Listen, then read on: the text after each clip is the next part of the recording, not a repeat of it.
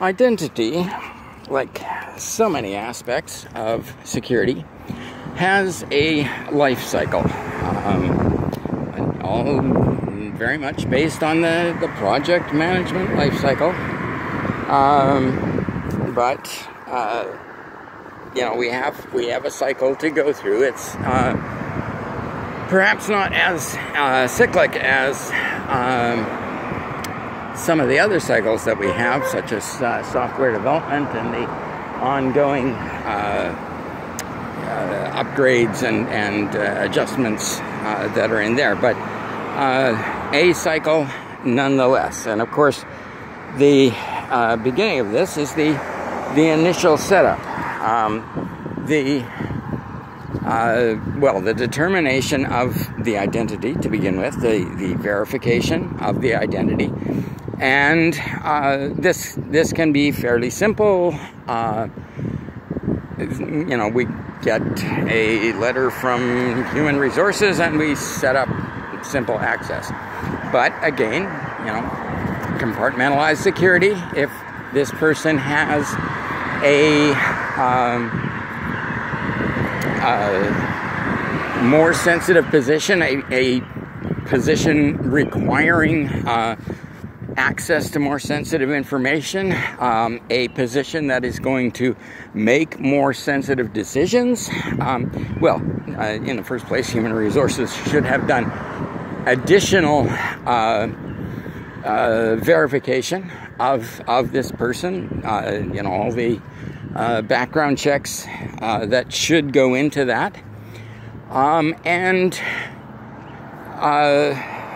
you know, we we may need to do a little bit more in terms of our own uh, uh, identification and authentication of this particular user, and and require possibly uh, greater authentication when this person asserts their identity for access to the system.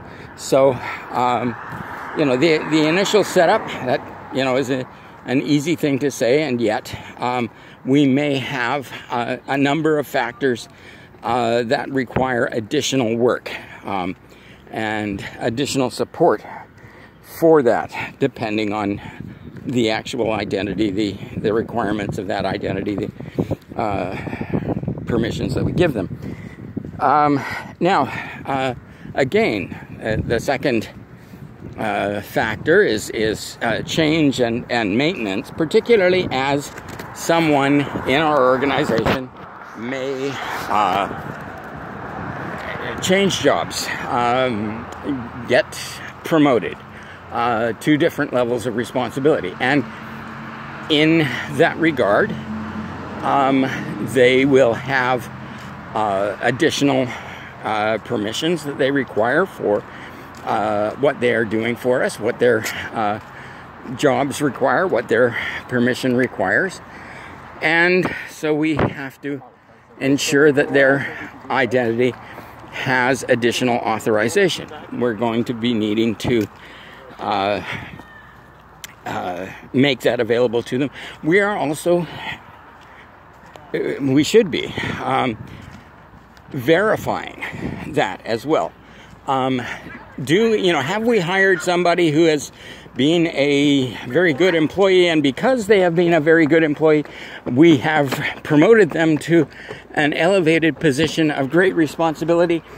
But the background checks that they got when they first came into the company don't really support that, you know. So we may have to go back to HR sometimes and uh, perform additional checks uh, so that you know somebody just doesn't just move up the ranks and and you know we find out we've had somebody who's actually an employee of our competitors or you know an unfriendly nation depending um, uh, in our top ranks. So um, what do we have to do in that regard?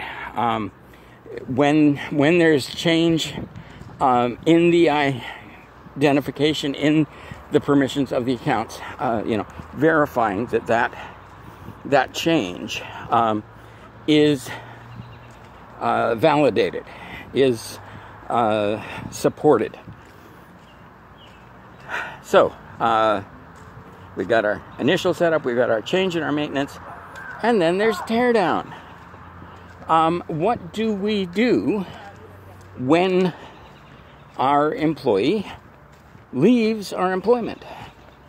Um, and again, the uh, the levels, you know, I mean, you know, we're going to have to do some, uh, take some care with regard to uh, ensuring that we have pulled their credentials, that, you know, they are no longer authorized, that that identity is no longer authorized to uh, uh, access the materials which they formerly had access because they are uh, no longer an employee in our company. And uh, we have to ensure that that is done so that we don't have uh, problems later on. Um, interestingly, this this can get uh, problematic in and of itself. Um, I can remember one uh, situation where uh, a bunch of people um, in a technical department with uh, access to a lot of uh, the resources of the company um, were uh, all fired. That that office was uh, terminated basically, and and so nine employees uh, were done, and and the the links the company went to to uh, well, you know, basically they weren't given any advance warning. Security people marched into their offices, marched them all out, didn't even let them get their own jackets. And then, you know, subsequently, they had to make uh, special arrangements to get appointments to come back into the building, escorted by security and some level of management, to retrieve their own personal possessions. I mean, you know, this is way, way over the top.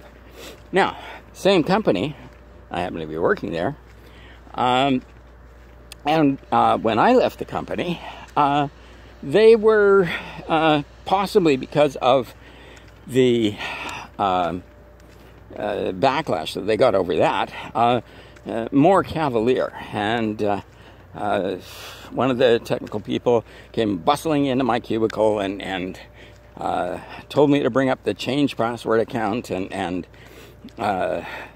to uh, you know start the password change. And of course I have to type in my, my password and then she shoos me away from the keyboard and she types in a new password. And so um, you know now I no longer have access to the uh, uh, to the system.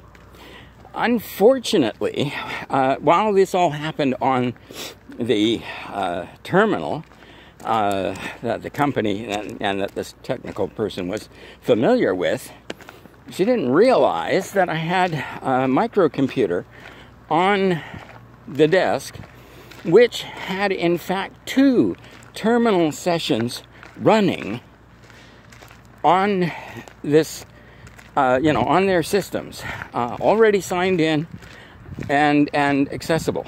And I, I must admit, I did um, think about. Uh, uh, sending an email uh, to people from their system uh, after the time that I had been supposedly logged off the system. And, uh, uh, well, I, I, decided not to.